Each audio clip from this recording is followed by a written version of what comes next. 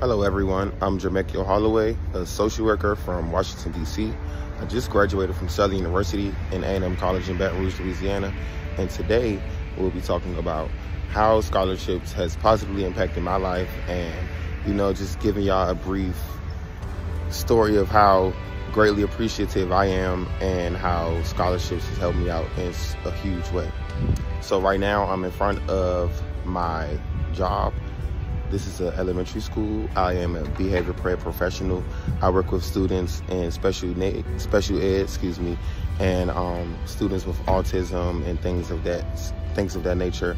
Uh, I walk around with my students every day and just kind of work on their behavior and trying to give them coping mechanisms to you know channel different ways to work with their behavior as a social worker. So this is it. Um, ScholarCHIPS has brought me here to this point. Um, I decided to do my video outside because, you know, I've always wanted to take my social work degree in education.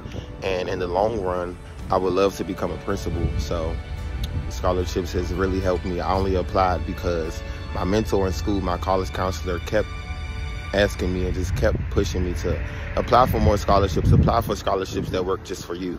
And my 12th grade year is when my dad got incarcerated. So I just didn't really know like um, how to go about that. And you know, at first I was a little reluctant to apply because I didn't want everybody in my business. But you know, I'm so glad that I did, and I'm so glad that I applied because I met a family and ScholarCHIPS since I've been a freshman.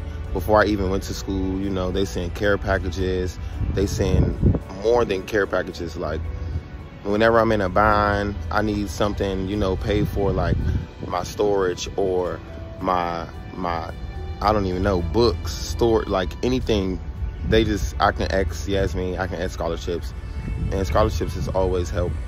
Um, I really love that ScholarCHIPS never forgets about me and always Yasmin always call, calls to check up, and so that is really just something that has been a stone in my life, just like a statement in my life. I will never forget it. So I really appreciate ScholarCHIPS for that.